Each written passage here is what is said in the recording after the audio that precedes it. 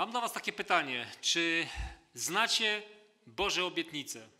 У меня к вам вопрос. Знаете ли вы Божье обетование? Jedna osoba zna. Один человек знает, O, teraz więcej. немножко Jakie, больше. jakie znacie obietnice, które pomagają Wam w Waszym życiu? Какие знаете обетования, которые помогают вам в жизни? E, nie wiem, bo w- kilka osób naraz mówiło. Граждан, поwiedz najpierw. Если Бог с нами, то кто против нам? Э, Пастор Дмитрий? Э, Psalm 90, 91, że Bóg jest naszą pomocą. A p- tam jeszcze siostra się głosi. Мама? Бог является нашим прибежищем и нашей помощью. A słyszeliście o takiej obietnicy? Слышали вы, ли вы о таком обетовании? U, je, u jednego Twojego boku padnie tysiąc, u drugiego dziesięć tysięcy, a Ciebie to nie dotknie? С одной твоей стороны падут тысячи, с другой стороны 10 тысяч, а тебя это не коснется. A słyszeliście o takiej obietnicy, jeżeli pójdziesz przez ogień, nie spali Cię? А слышали вы о таком обетовании, если будешь через огонь, он те- не сожжет тебя? I zazwyczaj przytaczamy przykład trzech młodzieńców. И обычно мы приводим пример трех э, друзей Даниила. A co z Janem Husem? А что с э, Яном Хусом? Są pewne obietnice, których do końca może nie rozumiemy. Есть такие обетования, которые мы не понимаем до конца. Ja nie chcę tutaj rozstrzygać teraz y, tego wszystkiego, Я не хочу сейчас сосредотачиваться на всем этом, ale chcę, abyśmy przyjrzeli się dzisiaj pewnym szczególnym obietnicom но хочу, чтобы мы обратили внимание на особые обетования. z Ewangelii, y, przepraszam, z objawienia świętego Jana, С книги Откровения, y, z listu do siedmiu zborów. Otwórzcie Ewangelię Jana, y, przepraszam, objawienie Jana. послание к семи церквям. Jak pewnie wiecie, y, listy do zborów Как вы знаете, послания к этим церквям, y, przedstawiają historię Kościoła они представляют историю нашей церкви i pewne jej etapy. и определенные этапы, периоды в церкви. Ja nie będę skupiał się tyle na historii, Не буду сосредо- сосредотачиваться на истории, tyle co na pewnych obietnicach, które Bóg kieruje akurat do tych ludzi w różnych okresach historii. но на обетованиях, которые Бог обра- э, обращает к людям в те времена, пере- исторические периоды. Y, Pierwszy list to jest list do zboru w Efezie. Первое послание к Ефесской церкви, другий раздел, так? Y, Tak, y, drugi Cały rozdział. rozdział. Drugi rozdział i pewnie być może je- niektórzy pamiętają, być może niektórzy nie, że on zawiera się to poselstwo w latach od 31 roku, И это послание, оно начинается от 31 года нашей эры, tak, od ukrzyżowania Chrystusa, от распятия Иисуса Христа, do około setnego roku naszej ery. до приблизительно э, года 100 нашей э- эры. I tam drugi rozdział i siódmy werset. Вторая глава, седьмой текст.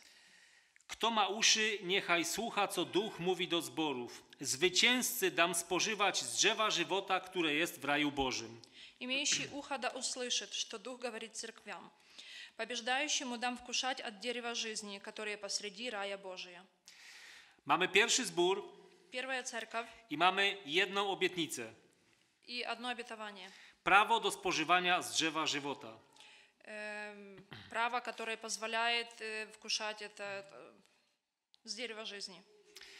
E, Pamiętamy, że to jest taki pierwszy, najwspanialszy okres y, dziejów chrześcijaństwa. Это был такой самый лучший период во времена христианства. Ale pod koniec tego okresu, Но когда этот период заканчивался, około roku setnego, э, о- приблизительно сотый год, już zaczynają się pojawiać pewne odstępstwa. э, починаю- начинаются некоторые отступления. I y, ci, którzy nie ulegną pokusie И те, которые не искушатся, не поддадутся, podążania za pogańskimi praktykami, э, не будут следовать э, языческим культам, to staną takie prawo, żeby spożywać z drzewa żywota. они получат право, возможность вкушать с дерева жизни. Kolejnym zborem, który jest opisany, Следующая церковь, которая здесь описана, to jest list do zboru w Smyrnie. э, Смирнская церковь, E, To, jest, to są lata od gdzieś sto, setnego roku do roku 313 naszej ery. это период от сотого года до 313 года нашей эры. I przeczytam dwa wersety z drugiego rozdziału, e, werset 10 i 11. Читаю стихи 10 и 11 второй главы. Nie lękaj się cierpień, które mają przyjść na cię. Oto diabeł wtrąci niektórych z was do więzienia, abyście byli poddani próbie i będziecie w udręce przez dziesięć dni. Bądź wierny aż do śmierci, a dam ci koronę żywota. Kto ma uszy, niechaj słucha, co duch mówi do zborów. Zwycięzca nie dozna szkody od drugiej śmierci. Не бойся ничего, что тебе надобно будет претерпеть. Вот дьявол будет вергать из среды вас в темницу, чтобы искусить вас, и будете иметь скорбь дней десять. Будь верен до смерти, и дам тебе венец жизни. Имеющий ухо слышать, да слышит, что Дух говорит церквам.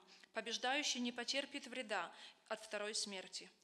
Więc mamy drugi zbór у нас уже тре- второе, вторая церковь, i mamy dwie obietnice.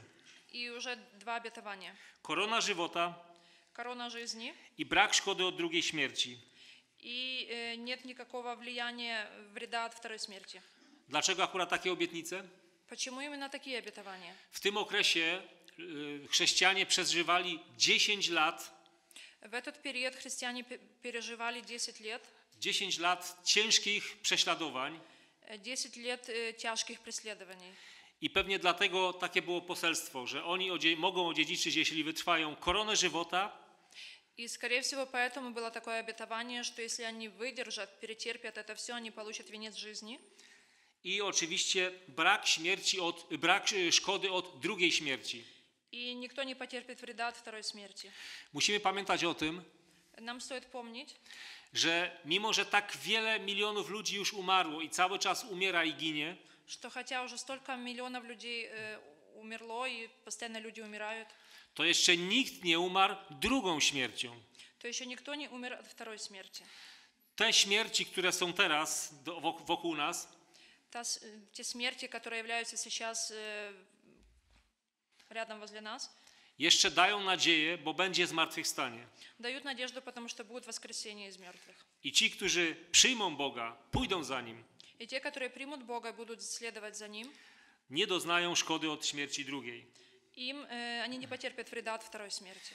I prawdopodobnie to poselstwo w tamtym czasie było niesamowicie cenne dla tych wszystkich, którzy przechodzili przez te ciężkie e, prześladowania e, w tamtym okresie. И, скорее всего, это обетование было очень ценным для всех тех людей, которые терпели преследование в те времена.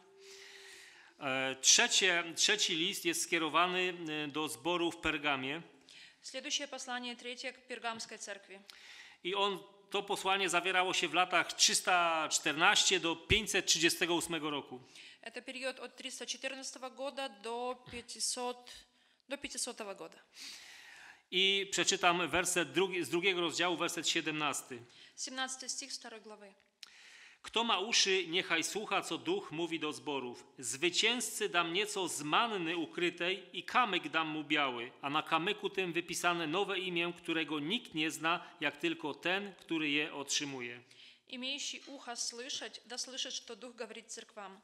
Побеждающему дам вкушать сокровенную манну, и дам ему белый камень, и на камне написанное новое имя, которого никто не знает, кроме того, кто получает. Eee.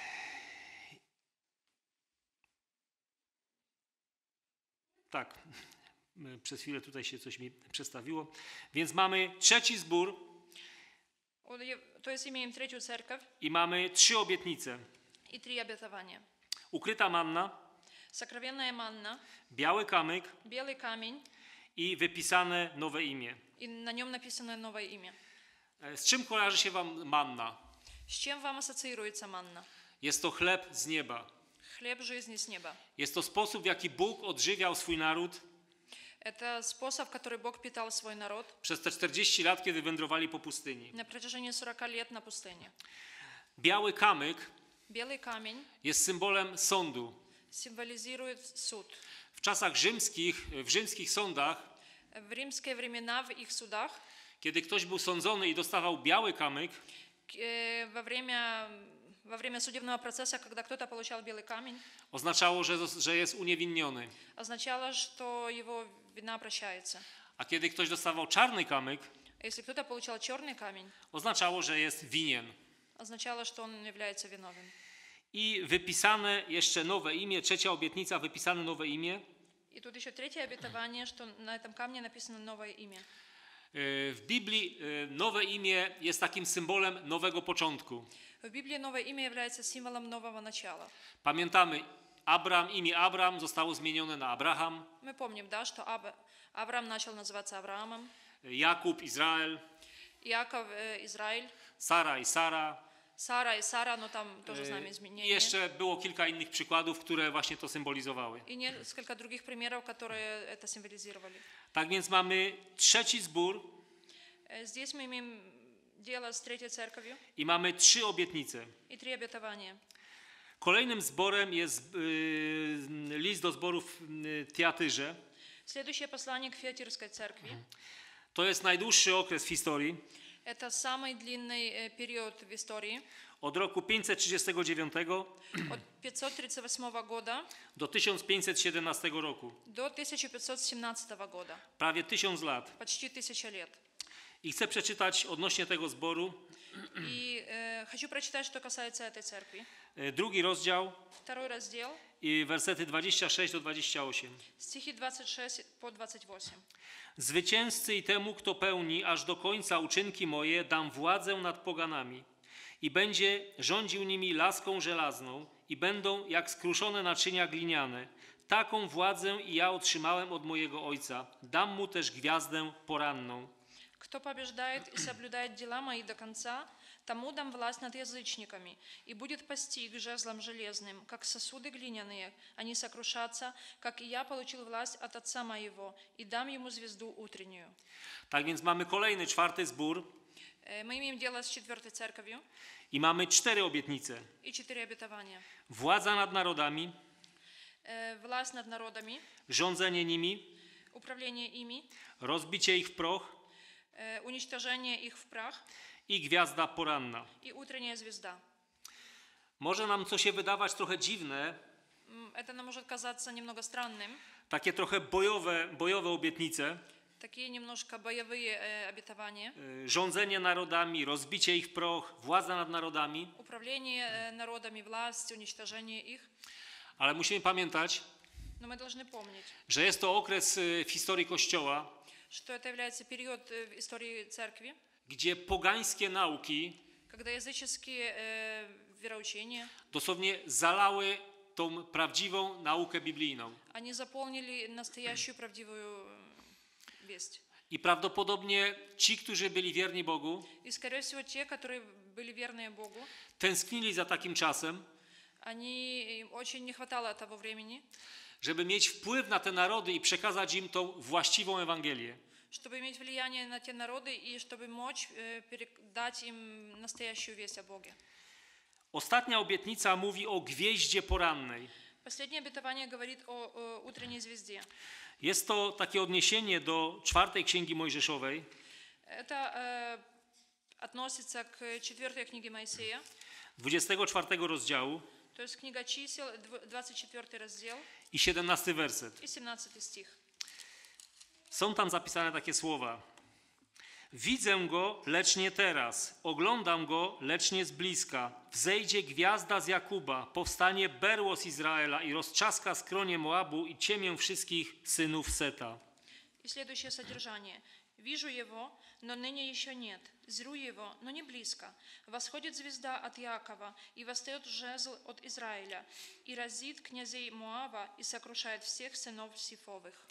I być może pamiętacie, że jest to odniesienie do sytuacji, И, возможно, вы помните, что это касается ситуации, kiedy Izrael szedł do ziemi obiecanej когда Израиль уже должен был войти в обетованную землю. i byli już prawie na granicy Они были уже на границе этой земли.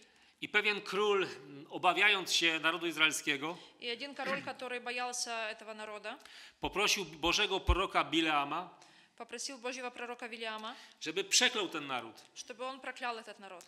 Ale Bileam powiedział mu, Но м, Вилиам ему сказал, że on nie będzie mówił nic oprócz tego, co Bóg mu rozkaże. что он не сможет сказать ничего, кроме того, что Бог ему прикажет. I zamiast przeklinać Izraela, И вместо того, чтобы проклинать, tak naprawdę mówił o błogosławieństwach dla tego narodu. он говорил о м, благословениях да, для этого народа. I to była taka nadzieja, że ukaże się gwiazda poranna, И это была такая надежда, что появится эта утренняя звезда, która było to symbolem na Chrystusa, э, которая символизировала Иисуса Христа. I Jest to jeden z mesjanistycznych tekstów, które wskazuje właśnie na, na Mesjasza. И это является одним из текстов, которые непосредственно указывает на Иисуса Христа. I prawdopodobnie te teksty były też pocieszeniem dla tych ludzi, którzy cierpieli prześladowania i, i całe to odstępstwo w średniowieczu. И вполне возможно, что эти тексты давали такую надежду тем людям, которые переходили через разные преследования в те времена. Tak więc to był czwarty zbór То есть это была четвертая церковь, i mieliśmy cztery obietnice dla tego zboru. и для них было четыре обетования.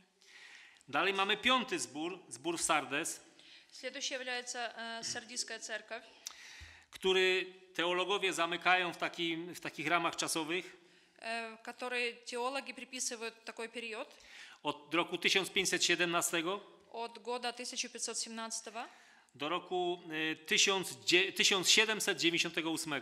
Do 1798 roku. I chcę przeczytać tutaj z trzeciego rozdziału. Będziemy czytać z trzeciej głowy. Y, czwarty i piąty werset. Czwarty i piąty stichy. Lecz masz w Sardes kilka osób, które nie skalały swoich szat, więc chodzić będą ze mną w szatach białych, dlatego że są godni. Zwycięzca zostanie przyobleczony w szaty białe i nie wymarzę imienia jego z księgi żywota i wyznam imię jego przed moim ojcem i przed jego aniołami. Впрочем, у тебя в Сардисе есть несколько человек, которые не осквернили одежд своих и будут ходить со мною в белых одеждах, ибо они достойны. Побеждающий облечется в белые одежды, и не изглажу имени его из книги жизни, и исповедую имя его перед Отцом моим и перед ангелами его. Więc mamy kolejny piąty zbór Э, то есть у нас пятая церковь, i mamy pięć obietnic. и здесь есть пять обетований в этих стихах. Przyobleczenie w białą szatę, Э, белая Убрание. одежда, да. chodzenie w białej szacie z Jezusem, Э, то, что будут ходить с Богом в белых одеждах, niewymazanie imienia z księgi żywota, Э, то, что их имена останутся в книге жизни, wyznanie tego imienia przed Ojcem исповедание их имен перед Отцом i przed aniołami. и перед ангелами. E, Zwraca tutaj uwagę na to, że mm, dwie obietnice dotyczą białych szat. Э, Автор обращает внимание, что два обетования касаются белой одежды. Przyobleczenie w białą szatę Э, Такое одеяние в эту белую одежду i chodzenie w białej szacie. и хождение в белых одеждах. Moglibyśmy zapytać, dlaczego akurat tak? Почему именно так, мы можем спросить. E, Czy pamiętacie, co stało się w roku 1517? Помнит ли кто-то из вас, что произошло в 1517 году? Reformacja. Reformację. A na co reformacja zwracała uwagę? Co Luter odkopał, że tak powiem, e, z praw biblijnych? Na co reformacja zwracała uwagę, co Luter jakby wykopał z biblijskiej prawdy? Że zbawienie jest tylko z łaski, prawda? Czym się to charakteryzuje? No właśnie szatan, białą szatą, prawda? Odzianie w białą szatę. To jest Luther zwrócił uwagę, że to jest spowiadanie e, искупление является только по вере, и это касается тоже этой белой одежды. i chodzenie w tej szacie. И хождение в этой, пребывание в Prawdopod- этой одежде. prawdopodobnie była to właśnie zapowiedź, że w tym mniej więcej okresie czasu Скорее всего, это было такое предвещение, что как раз в этот период, ludzie wierzący będą zwracać uwagę na ten właśnie aspekt. что верующие люди будут обращать внимание как раз на этот э, момент, на эту истину. Jest tu też mowa o wyznaniu imienia przed Ojcem Здесь тоже есть речь о исповедании имени перед Отцом. i chciałbym tutaj otworzyć Ewangelię Mateusza, Откроем Евангелие от эм, Матфея, e, dziesiąty rozdział 10 глава i tam są zapisane takie słowa w wersecie 32. и 32 стих. Każdego więc, który mię wyzna przed ludźmi i ja wyznam przed Ojcem moim, który jest w niebie. Итак, всякого, кто исповедует меня перед людьми, того исповедую и я перед Отцом моим Небесным. Czy myślimy czasem o tym, w jaki sposób wyznawać imię Chrystusa? Думаем ли мы иногда о том, как мы можем вызнавать, признаваться к имени Иисуса, как его исповедовать? Kiedy nie jesteśmy prześladowani. Когда нет никаких преследований. Bo przez historię było wiele takich momentów, Так как в истории было много таких э, случаев, gdzie ludzie byli, wierzący byli prześladowani когда верующих людей преследовали. i oni wyznawali imię Chrystusa, nie zapierali się, И они тогда исповедовали имя Иисуса, не, не отвергали его. I wielu z nich przypłaciło to życiem. И многие из них погибли. Albo jakąś niewolą, prześladowaniami. Или в какую-то тюрьму попали, либо подвергались преследованиям. Ale na czym polega wyznawanie imienia Chrystusa dzisiaj, kiedy mamy pokój? Но как мы можем исповедовать имя Иисуса Христа сейчас, когда никто нас не преследует? Myślę, że warto pamiętać o tym, Стоит помнить о том, że Bóg powołał nas również do tego, что Бог призвал нас э, также к тому, żebyśmy właściwie przedstawiali Jego charakter чтобы мы в правильный способ представляли Его характер y, ludziom, którzy obwiniają Boga o wszelkie zło na tym świecie. людям, которые все зло, все, что происходит, сваливают на Бога. Chyba nie trzeba nikogo przekonywać z Was, Думаю, что никого из вас не надо убеждать, że w czasie tej wojny, która jest na Ukrainie, что сейчас, во время этой войны на Украине, z pewnością wiele, o- wiele jest takich osób, э, с- очень много есть таких людей. którzy patrzą do nieba i mówią: Я уверен, что они смотрят в небо и говорят, Boże, gdzie jesteś? Боже, где ты? Tam giną ludzie, dzieci, niewinne i tak dalej. Там погибают невинные люди, дети. I my uważam, że my jesteśmy również po to na tym świecie, aby takich, takim ludziom wyjaśniać, dlaczego taka sytuacja ma miejsce. И я считаю, что мы тоже поэтому находимся на этой земле, чтобы тем людям объяснять, э, что происходит и почему это имеет место. My nie rozumiemy dzisiaj dokładnie wszystkiego, Мы не понимаем всего сейчас. ale na tyle, mam nadzieję, rozumiemy, że możemy ludziom, którzy nie znają Boga, coś niecoś wyjaśnić. Но я надеюсь, что мы настолько понимаем эту ситуацию, что можем людям, неверующим, объяснить, что происходит и почему. Chcę posłużyć się takim pewnym przykładem. Хочу э, под- рассказать, рассказать вам один пример.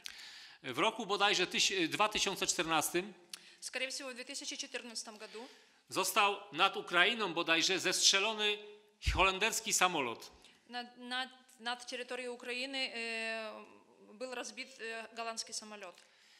I pamiętam takie, taki wywiad w telewizji, И я помню э, такое интервью в телевидении, gdzie pewna Holenderka где одна из жителей Голландии, e, zapytana o tą sprawę, когда ее спросили о, о этом происшествии, popatrzyła do góry i powiedziała: I gdzie był Bóg, kiedy niewinni ludzie zostali zniszczeni? она посмотрела, так обратила глаза к небу и сказала, где был Бог, когда невинные люди погибали?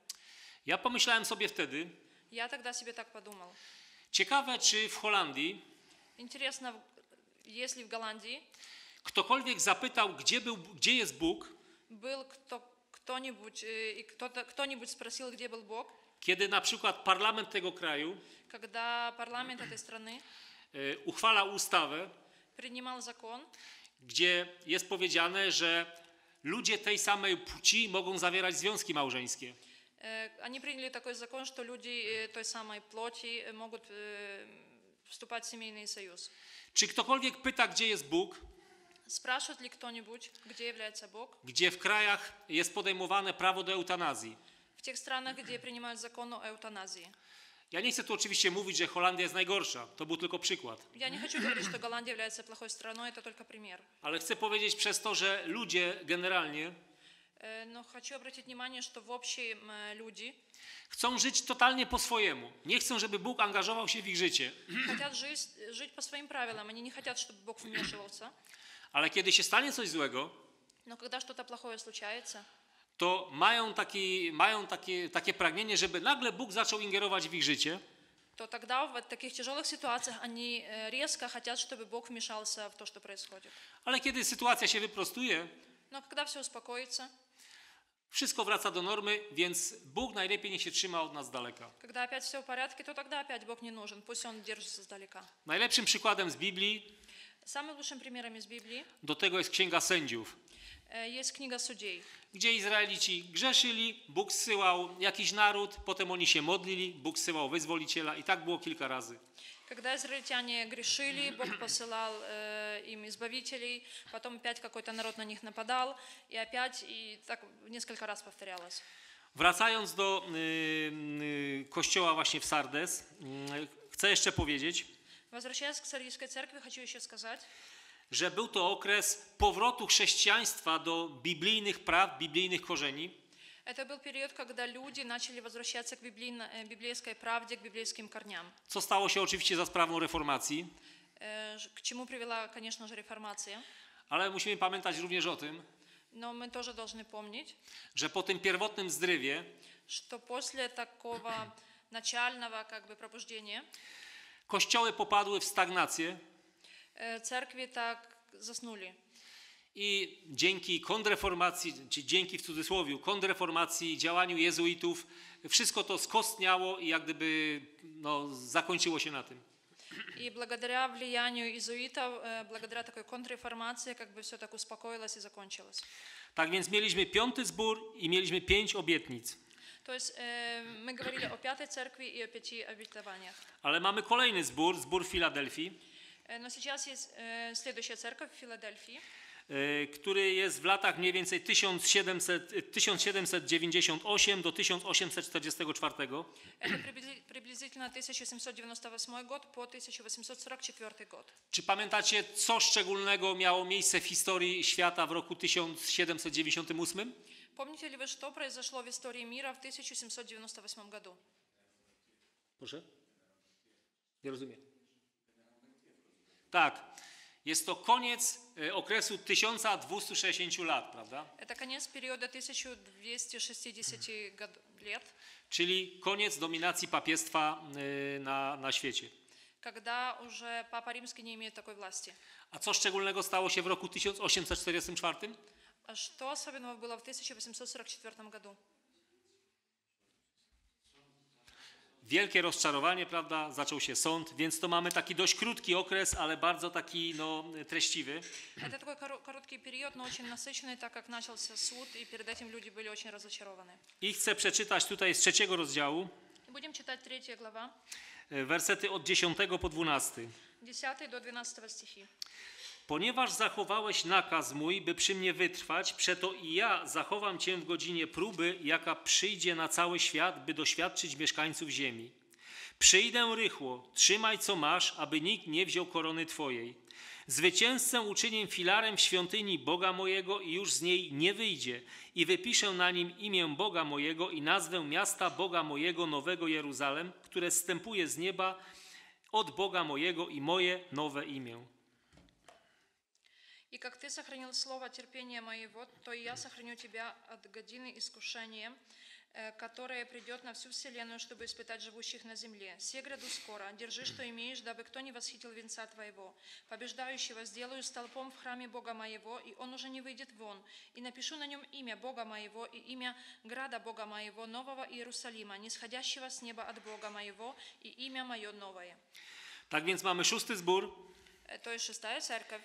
i mamy sześć obietnic. И в этих стихах есть шесть обетований. Sześć Bożych obietnic. Шесть Божьих обетований. Ochrona w godzinie próby, Охрана в, в- от годины искушения, uczynienie filarem świątyni, э, с- что кто-то будет столпом в храме Бога, pozostanie w świątyni, что он оттуда уже не выйдет, otrzymanie nowego imienia, получение нового имени, znajomość nazwy miasta Bożego знание нового города i nowe imię Jezusa. и знание нового имени Иисуса. I nie wiem, czy zwróciliście uwagę, Не знаю, обратили ли вы внимание, ale w tym fragmencie но в этих текстах znowu mamy dwie obietnice dotyczące czego? э, снова есть два обетования, которые касаются чего? Świątyni. Э, Świątyни. Храма. Касаются храма. Eee, dlaczego? Почему? Prawdopodobnie dlatego, Скорее всего, потому что że była to zapowiedź, это было, такая, это было предвещение, że w roku 1844 что в 1844 году było wielkie rozczarowanie, было большое разочарование, ale również y, co stało się w tym roku odnośnie świątyni. э, но тоже что-то произошло, что касалось храма в это время. Pamięta ktoś? Помнит ли кто-то? Wszedł do świątyni, ale pamiętamy, że oni rozczarowali się, bo myśleli, że Jezus przyjdzie na ziemię. Иисус Христос вошел в небесное святилище, но многие думали, что Он придет на эту землю. Ale ten już y, Hiram Edson doznał tego, prawda, znanego olśnienia, Э, Но один из известных людей тогда такое объявление получил, że to nie chodzi o ziemię, ale chodzi o świątynię w niebie, prawda? то это не идет речь о земле, но о небесном святилище. I od tego czasu И от того времени y, prawda o świątyni Ис- Истина о святилище znów zaczęła być wyciągana na światło dzienne. э, снова начала как бы ее вытягивать на поверхность, начали интересоваться тем, тем э, Tak więc mieliśmy szósty zbór То есть э, мы говорили о шестой церкви i mieliśmy sześć obietnic. и шесть обетований. Ale y, apostoł Jan pisał dalej Апостол Ян писал далее, i dochodzi do naszych czasów, do siódmego zboru, и касаемся уже нашего периода седьмой церкви, który jest charakteryzowany od roku 1844 do którego? и этот период идет от 1844 года до какого? Zna ktoś datę końca?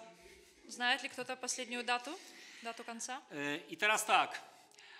Pierwszy zbór miał jedną obietnicę. У первой церкви было одно обетование, Drugi zbór miał dwie obietnice. у второй церкви было два обетования, Trzeci zbór miał trzy obietnice. у tретьей церкви три обетования, Czwarty miał cztery. четвертая четыре, Piąty miał pięć. пятая церковь пять обетований, Szósty miał sześć. шестая шесть обетований, A siódmy ma ile? а седьмая церковь Jedną obietnicę. только одно обетование, Siódmy zbór ma jedną obietnicę. только одно обетование. Y, Nie przyjście Chrystusa, ona trochę inaczej brzmi. Не пришествие Христа, тут кто-то сказал, немножко Trzeci rozdział, по-другому. 21 werset. Третья глава, 21 стих. Zwycięzcy pozwolę zasiąść ze mną na moim tronie, jak i ja zwyciężyłem i zasiadłem wraz z Ojcem moim na Jego tronie. Побеждающему дам сесть со мной на престоле моем, как и я победил и сел с Отцом моим на престоле Его. Tak więc mamy jedną obietnicę, która dotyczy zasiadania z Jezusem na Jego tronie. То есть есть одно обетование, которое касается того, что можно воссесть на престоле Божьем. Ale żebyście nie byli zmartwieni, Но чтобы вы не переживали, że, mamy, że my mamy tylko tą jedną obietnicę, что нам предоставлено только одно обетование, to w opinii teologów э, в том, как интерпретируют это теоло- теологи, ta jedna obietnica это одно обетование. zawiera wszystkie inne, które były podane wcześniej. Она имеет в себе все предыдущие обетования. Zauważcie również, Обратите также, że Laodycea, z tego co pamiętam, что э, Лаодикия, с того, что я помню, nie ma pochwały. э, там нету, чтобы Бог ее хвалил. Inne zbory mają pewne pochwały, Если говорим о других церквях, там есть, да, что ты делаешь то и то хорошее, а тут нету такой Wobec информации. tego może powstać pytanie, no to jak to jest? Najgorszy zbór, a ma najlepszą obietnicę. То есть мы можем задать вопрос, как такое может быть, что самая плохая церковь, а ей предоставлено самое лучшее обетование. Zbór, który nie ma nic, otrzymuje obietnicę wszystkiego. Церковь, у которой нет ничего, она получает обетование всего. Myślę, że pewną odpowiedzią na to pytanie Э, Я думаю, что ответом на этот вопрос может быть znajduje się w liście do Rzymian, в послании к римлянам, piąty rozdział, 20 werset. 5 глава, 20 стих. A zakon wkroczył, aby się upadki pomnożyły, gdzie zaś grzech się rozmnożył, tam łaska bardziej obfitowała. Закон же пришел после, и таким образом умножилось преступление. А когда умножился грех, стала преизобиловать благодать. Oczywiście jako lu- ludzie wierzący wiemy dobrze, Конечно же, как верующие люди, мы хорошо знаем. że to nie chodzi o to, żebyśmy więcej grzeszyli i więcej łaski doznawali, Речь не идет о том, чтобы мы более грешили и чтобы более была благодать нам объявлялась. ale ten tekst pokazuje, na jakiej zasadzie było to możliwe. Но этот текст показывает, на каком основании это было возможно. Właśnie, że taki zbór, który nie ma żadnej pochwały, dostaje najlepszą obietnicę. Что церковь, в которой нет никакого позитива о ней, она получает самое лучшее обетование. Chcę zwrócić jeszcze uwagę na, jedną taki, na jeden taki szczegół. Хочу обратить внимание на одну особенность. Yy, W szóstym, yy, w, szóstym yy, no, w li- w liście do szóstego zboru, yy, czyli do Filadelfii, В послании к Филадельфии, к шестой церкви, Jezus mówi takie słowa: Przyjdę rychło. Иисус говорит, приду вскоре. To pokazuje, że, że, to, że to już jest blisko, prawda? И это показывает, что время очень коротко. Ale stwierdzenie przyjdę rychło, my adwentyści, Но это определение «приду скоро» yy, używamy już od ponad 150 lat, мы, адвентисты, им- адвентисты, им пользуемся от 150 лет. no a Jezus jeszcze nie przyszedł. Но Иисус пока не пришел. Ale yy, tu jest pewien progres, taki rozwój, Но здесь есть такое некоторое развитие. bo tu, było- tu jest napisane przyjdę rychło, Э, В тексте говорится «приду вкратце, скоро», A w y, 20 wersecie trzeciego rozdziału Jezus mówi: А в 20 стихе Иисус говорит, Oto stoję u drzwi i kołaczę. «Се стою у двери и стучу». Tak więc widzicie, w tamtym okresie Jezus mówi: Przyjdę rychło, В том периоде Иисус говорит, я скоро приду, a w naszym byśmy powiedzieli: Jezus jest tuż, tuż za drzwiami.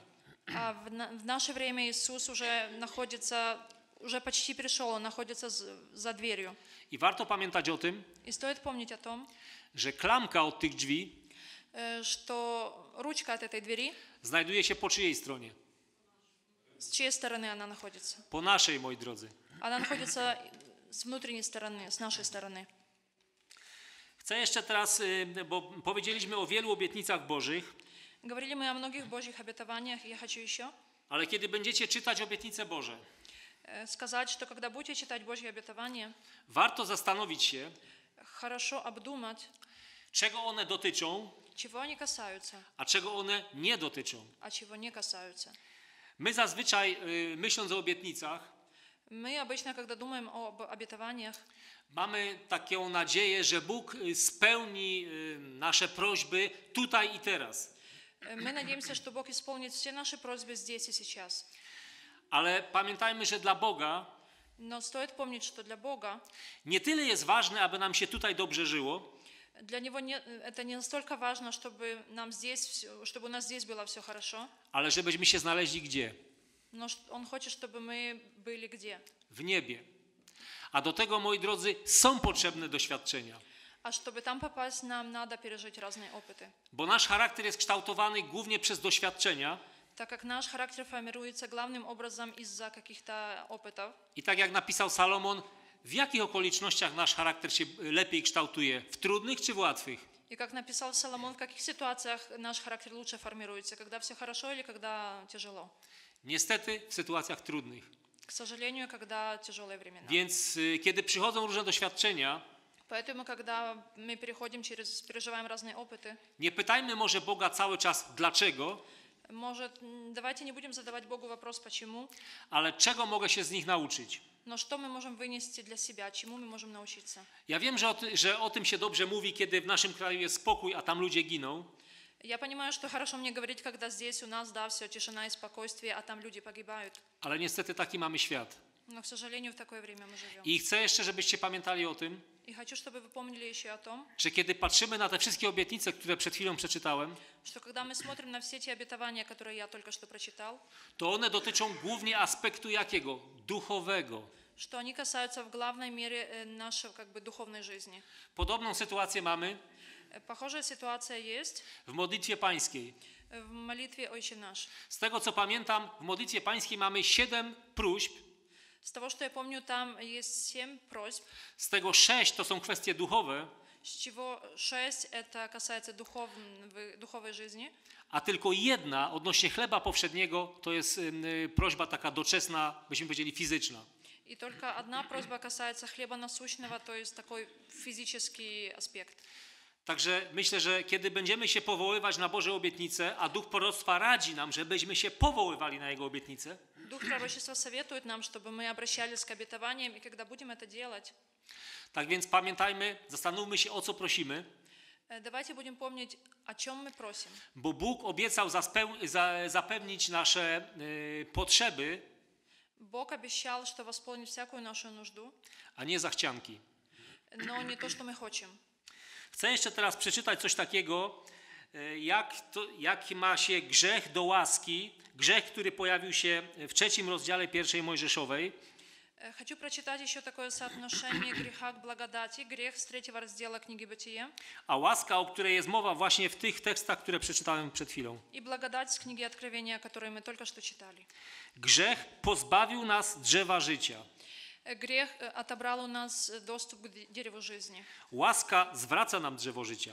Благодать, милость Божья от- э, отдает нам это дерево жизни. Grzech sprowadza na nas wyrok śmierci. Э, Грех э, привел к смерти. Łaska daje nam zwycięstwo nad drugą śmiercią. Благодаря милости Божьей мы можем м, не подвергнуться второй смерти. Grzech skazał nas na zarabianie na chleb. Грех привел к тому, что, нам- что нам надо зарабатывать на свою жизнь. Łaska dostarcza nam manny. А благодать Божья дают нам небесную манну. Grzech odebrał nam panowanie, Грех отобрал нам власть, łaska obiecuje panowanie nad narodami. а благодать Божья обещает нам власть над народами. Grzech uczynił nas nagimi, Э, Грех сделал нас э, на- нагими, łaska przyodziewa nas w białą szatę. а благодаря мил- милости Божьей Бог дает нам белые одежды. Grzech wypędził nas od obecności Bożej, Грех э, прогнал нас от Божьего присутствия. łaska zapewnia, że nic takiego się więcej nie stanie. По милости Божьей мы знаем, что это больше не повторится, Oczywiście po przyjściu Chrystusa. когда придет Иисус второй раз. Grzech obrócił nas w proch, Грех обратил нас в прах, łaska daje nam miejsce na Bożym tronie. а по милости Божьей мы можем воссесть на Божьем престоле. Na zakończenie tego rozważania Заканчивая эту проповедь, chcę przeczytać dwa zdania хочу прочитать два предложения z książki Wielki Bój. с книги э, «Великая борьба». Jest to moment, kiedy zbawieni Это происходит во время, когда искупленные idą lub lecą идут либо летят do nieba w takim orszaku. э, в направлении неба э, все вместе.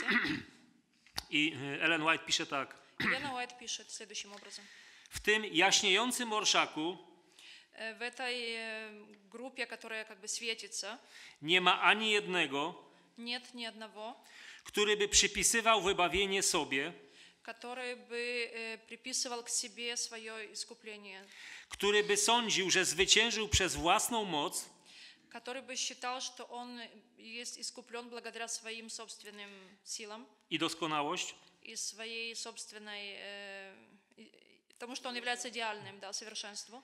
nie mówią nic o tym, Они не говорят ничего о том, co uczynili i wycierpieli, что они сделали и через, то- через что прошли.